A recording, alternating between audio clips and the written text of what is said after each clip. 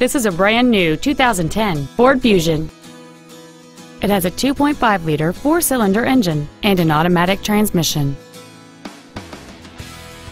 Its top features include a power driver's seat, solar tinted glass, a leather wrapped shift knob, cruise control, steering wheel controls, commercial free satellite radio, a low tire pressure indicator, traction control and stability control systems, and it's easy to see why this automobile is an excellent choice.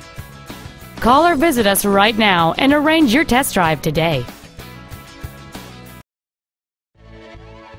Thank you for shopping at Robinson Brothers Ford, located at 11455 Airline Highway in Baton Rouge.